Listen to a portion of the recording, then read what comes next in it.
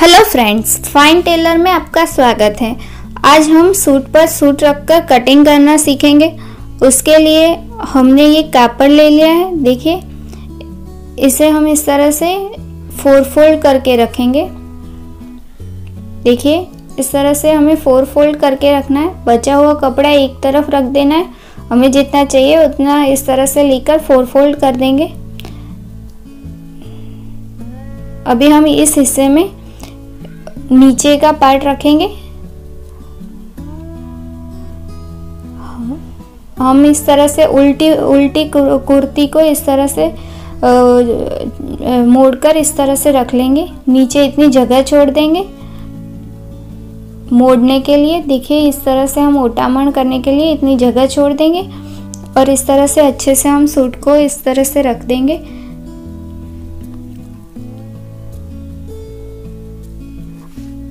अब हम यहाँ पर साइड में भी ओटामण के लिए इतना कपड़ा छोड़ेंगे। देखिए, हमने इस कपड़े को इतना छोड़ दिया है और इस तरह से लाइन कर लेंगे।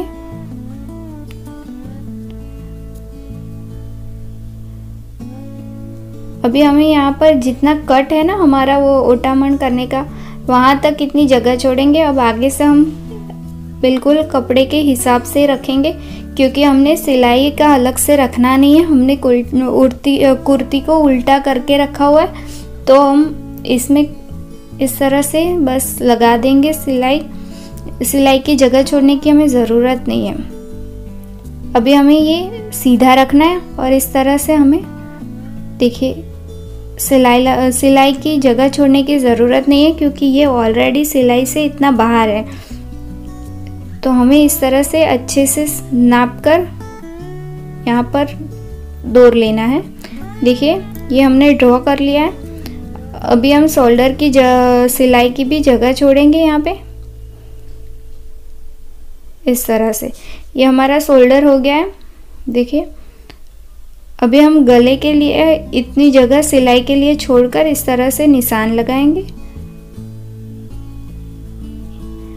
ये जो जगह है, वो सिलाई में चली जाएँगी, इसलिए हमें यहाँ पर सिलाई की जगह छोड़नी है। अभी हम आगे के गले की निशान कर लेंगे। आगे के गले का, देखिए इस तरह से। अभी हमें पंच गढ़ाई रखना है तो यहाँ पर भी हम निशान लगा लेंगे तो इतना ही गला होगा। देखिए इस तरह से। अब हम सिलाई की जगह छोड़ देंगे।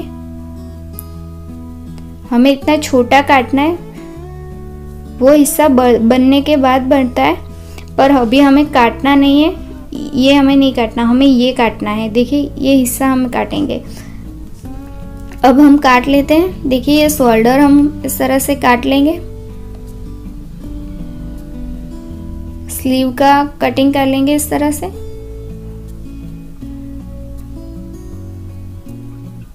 अभी इस तरह से हम सूट का कटिंग कर लेंगे। जहाँ पर हमने निशान लगाया है, वहीं पर हम इस तरह से अच्छे से कटिंग कर लेंगे।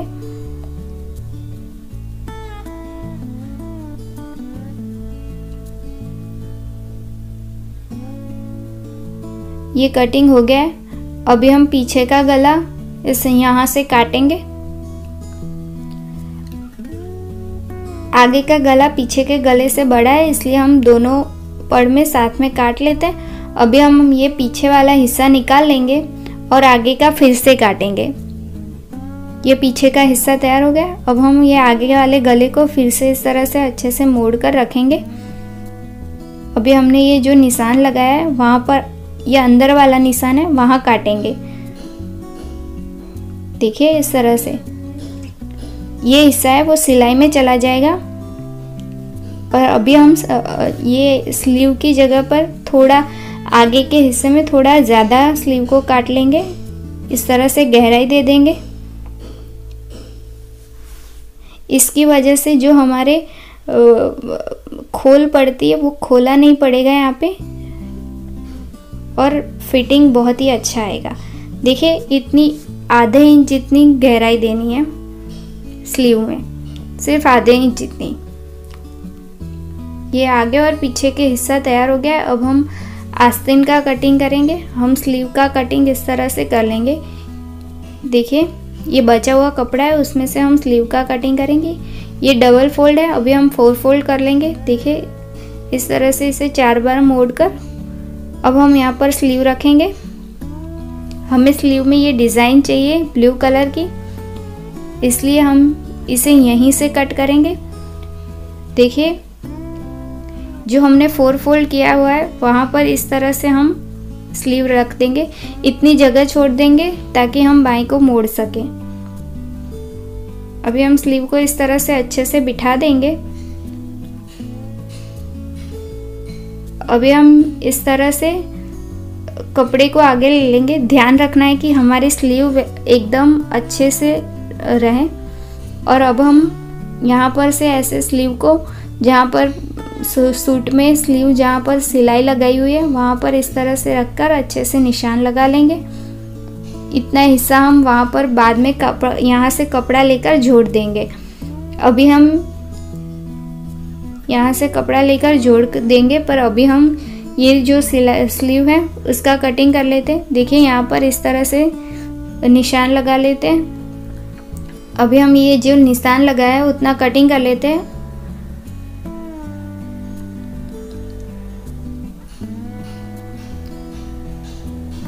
देखिए, इस तरह से हमें इसे अच्छे से काट लेना है।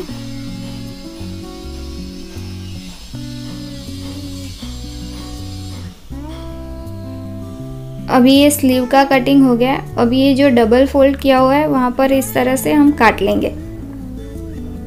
अब ये जो बचा हुआ हिस्सा है, वहाँ से हम ये जो स्लीव हमें छोटी पड़ी है, वो हम यहाँ से काट लेंगे। देखिए, इस तरह से हम इसके ऊपर रख लेंगे। ताकि एकदम परफेक्ट मान नाप से स्लीव कटे। अभी देखिए, ये स्लीव हम फिर से यहाँ रख लेंगे और इसे अच्छे से इस तरह से निशान लगा लेंगे।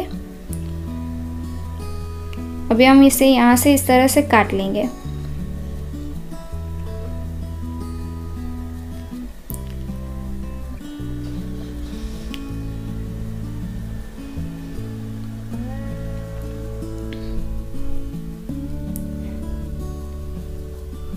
अभी हम यहाँ से बीच में काट कर ताकि ये चार हिस्से हो जाएँगे इसके।